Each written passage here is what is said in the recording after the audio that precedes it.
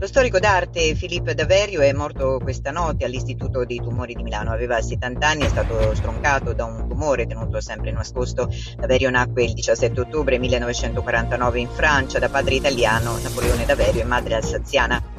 Era il quarto di sei figli. Dopo un'educazione in collegio e gli studi di economia e commercio alla Bocconi di Milano, dove si laureò pur superando tutti gli, non si laureò pur superando tutti gli esami, Daverio aprì nel 75 la galleria Filippo Daverio in via Monte Napoleone a Milano, dove si occupò prevalentemente di movimenti d'avanguardia della prima metà del Novecento.